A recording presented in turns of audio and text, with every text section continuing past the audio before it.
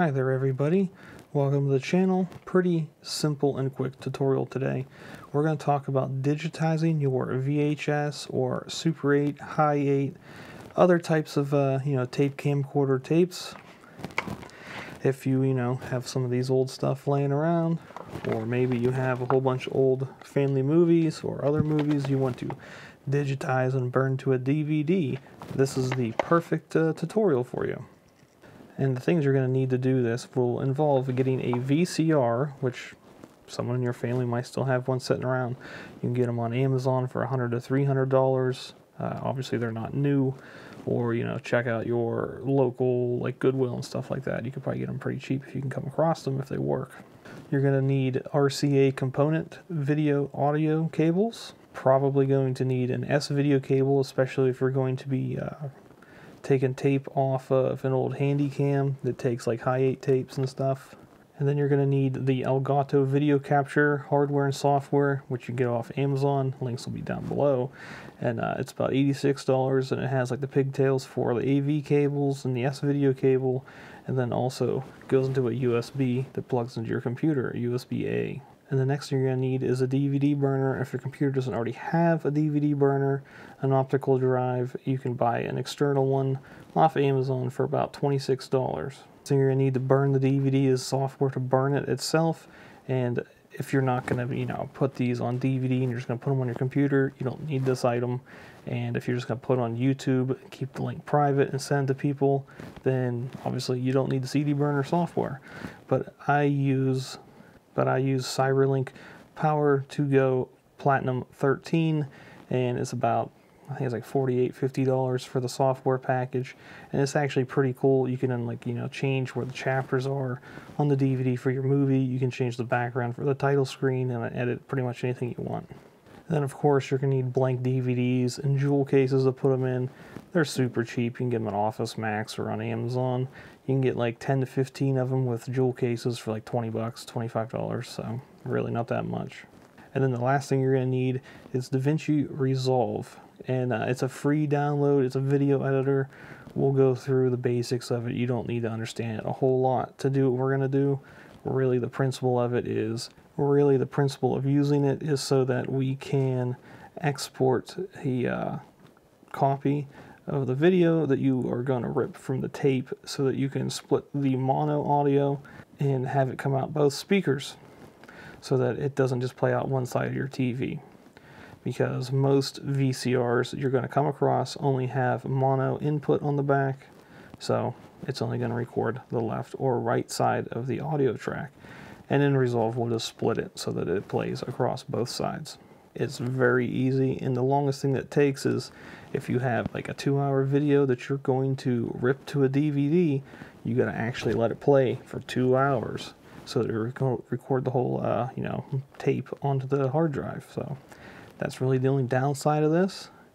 And this is going to be way cheaper overall if you have several uh, VCR or VHS tapes or 8 millimeter tapes that you want to digitize.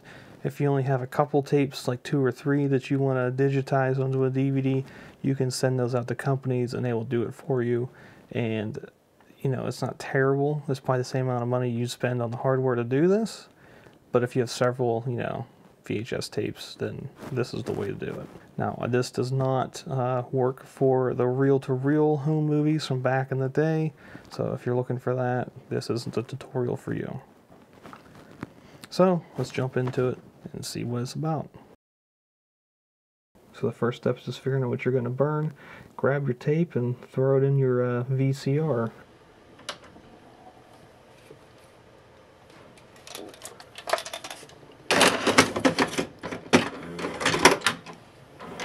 Miss those sounds. Really uh, brought you into the movie.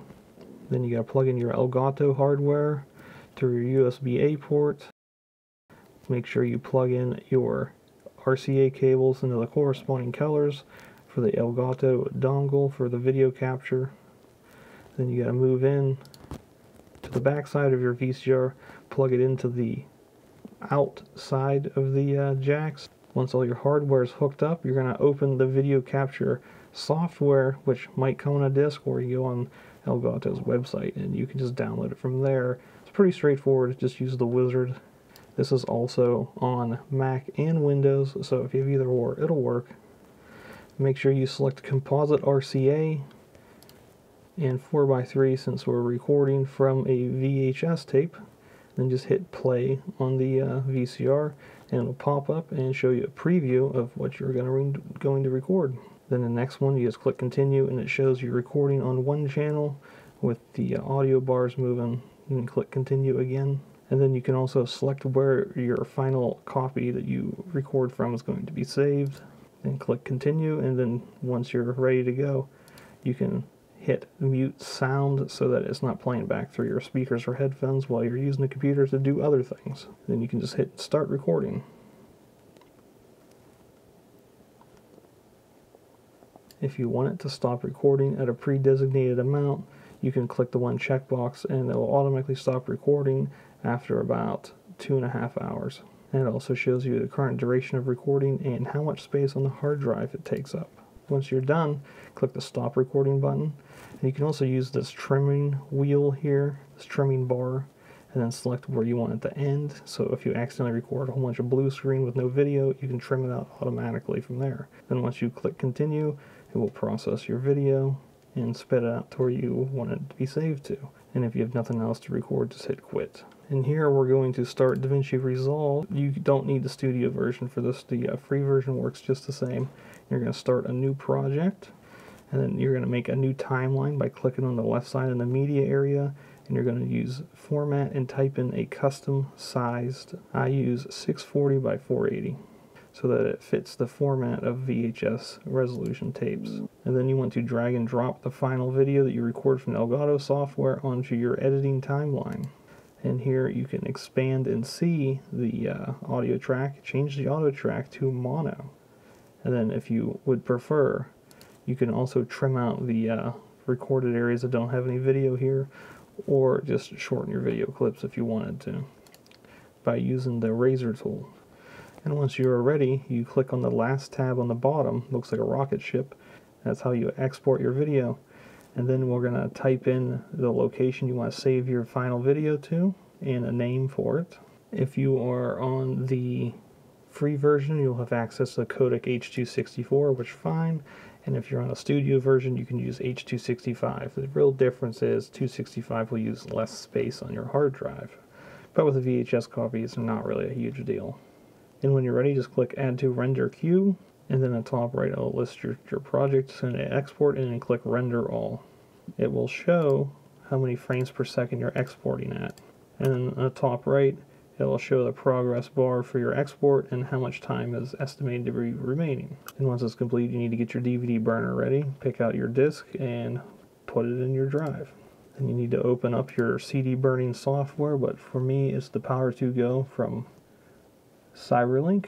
Then you can just drag and drop your video into the burner. And at the bottom, it'll say that it's uh, too big of a file, it won't fit on your disk. And the easy workaround for that you need to click on your disk preferences, select 4x3 since this is a VHS tape, and then for your quality, select down Smart Fit. And it will adjust your file size and resolution to fit all on the DVD. Once you have that done, you can just type in whatever you want for your title for the main screen for the menu system. And you can also drag it around and adjust it however you need. And with uh, the purchase copy of this, you can download different templates whenever you log into their website. It's kind of neat, a lot of different versions. So we'll pick this one, A Dreamy World. We'll just download it. And when it says it's done downloading, you just got to open the file location and then drag and drop it from whenever you downloaded it into the menu tab, and it will automatically install that uh, menu type. And click click on it and then click apply to all pages and you're good to go. And if you don't want any of the weird background music on your title screen you go down here this background music and then just delete that import area. And you can preview it and there's no weird music playing in the background if you don't want it when you click play it'll simulate what it'll look like whenever it's on your uh, DVD player And then when you're done with all that and you're happy with how it turns out, just uh, click the burn button and name the disk title, whatever you want, and you just gotta wait for it to do its thing now. Then once it's done, it'll tell you that uh, the burn was successful, disk was added to your disk manager library, and you just go, okay, I'm done. Hit cancel so you don't uh, burn another one if you don't want to, and close down the program. And then just pop out your newly burnt DVD from the uh, external burner. Now, this is uh, for the other people, if they're not doing VCR tapes, if you are doing like a Sony Handycam that takes Hi8 tapes, or different versions of 8mm, they're all going to be the same. You just got to reference your manual on your camera to see what uh, output cables you need for that. But for this one, it's a Hi8 tape player, and this is how we're going to take the tape off that and burn it to the computer and do the exact same thing as the VCR.